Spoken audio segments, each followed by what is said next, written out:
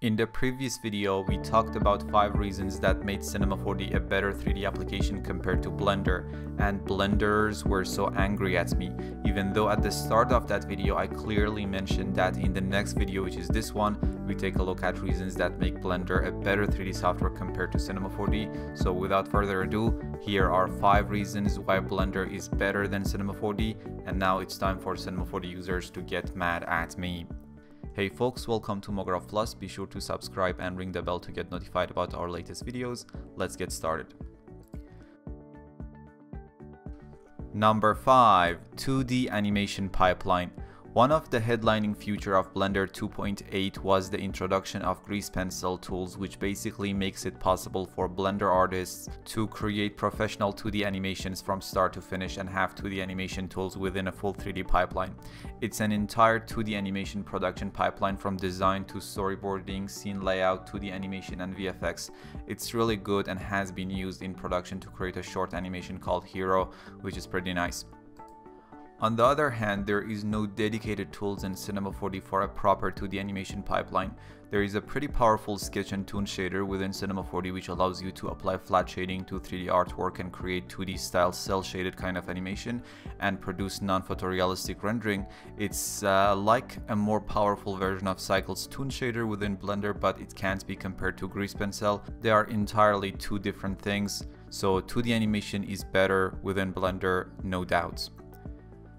Number 4. Compositing and video editing.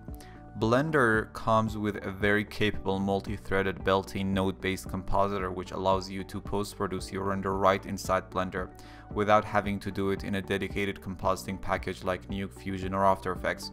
You can do some very basic layer-based compositing within Cinema 4D's picture viewer, but having a fully fledged compositor is a huge plus for Blender and a lot of Cinema 4D users wish to have that within Cinema 4D. And also Blender does have a video editor which can be used for basic video editing and that is not available within Cinema 4D or any other 3D application. That's not something people would look for in a 3D app, but it's nice to have it. Before moving on, make sure to visit our website mographplus.com or our Gumroad page at gumroad.com slash mographplus and check out our premium rendering and motion graphic courses for Cinema 4D, 3ds Max, Maya, Arnold, Corona, V-Ray Maxwell, and so on. Number 3. Fluid, Smoke and Fire Simulation the next big thing is being able to simulate fluid fire and smoke natively within Blender which is just amazing. Even though at the moment you might not get the production quality level simulation that you might be after, but you can get fairly close to that level if you know the specific settings. On the other hand, you do not get built-in fluid fire and smoke with Cinema 4D, which is a shame, but if you demand the highest possible quality and don't care about the money that much, you can get Hollywood level fire and smoke simulation with FumeFX plugin for Cinema 4D, which is in open beta and you have also RealFlow plugin for Cinema 4D which is tightly integrated with Cinema 4D and it is used to produce very advanced and realistic water and physics simulation. If you are a Blender user, you still can use the standalone version of RealFlow and import the RealFlow sim using Alembic format, but FumeFX is just available for Max Maya and Cinema 4D currently. Also, they are not cheap and they cost around $750 each and close to 1300 bucks for the standalone version of RealFlow. But if you don't want to pay and still get a built-in fairly good fluid fire and smoke sim, Blender can do it. Number 2. Cycles and Eevee.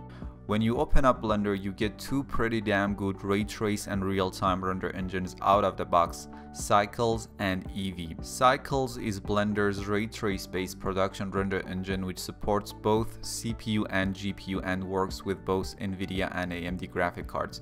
It really rivals the best of the best and there is nothing bad to say about it.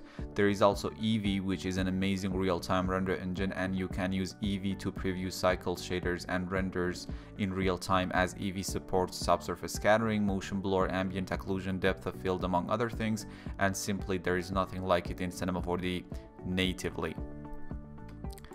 Also make sure to check out the first part of this video where we count out 5 reasons why Cinema 4D is better than Blender. Number 1. It's free and open source. And here is where no 3D application can be compared to Blender. It's an open source software that is free. How do you beat that? That means anybody anywhere with enough passion and talent can make Blender a better software for all to use. That's why the development pace and the addition of new features are really fast and you get all of that for free. A few days ago Maxon released Cinema 4D R21 with new pricing and subscription model. Now it costs you $60 a month to use Cinema 4D which is obviously more affordable compared to before but still free is better. So do you think there is anything else that makes Blender better than Cinema 4D? Let us know down below in the comment section. Well, I hope you enjoyed this video. Make sure to visit our website mographplus.com or our Gumroad page at gumroad.com slash mographplus and check out our premium rendering and motion graphic courses for Cinema 4D, 3ds Max, Maya, Arnold, Corona, V-Ray, Maxwell, and so on. Please like, share, and subscribe for more videos from Mograph Plus. See you next time.